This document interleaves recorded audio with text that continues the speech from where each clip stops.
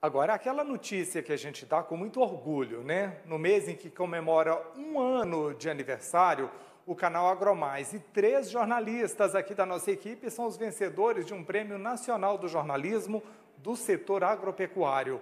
O resultado da homenagem promovida pelo, pelo portal dos jornalistas, os mais admirados da imprensa do agronegócio 2021, reconhece os profissionais e a mídia especializada. Na categoria Jornalistas Top 26 estão a apresentadora do Agronoite e dos programas Tech Startups e Prospera Agro, Daniela Ramalho, o chefe de redação Ederson Graneto e a editora executiva do canal e apresentadora dos programas internacionais Campo Diplomático e Agroamérica, Catiúcia Souto Maior. No total, foram indicados 56 profissionais de TV, rádio, impresso e mídias digitais. O canal Agromais ficou entre os três mais votados na categoria Vídeo Internet.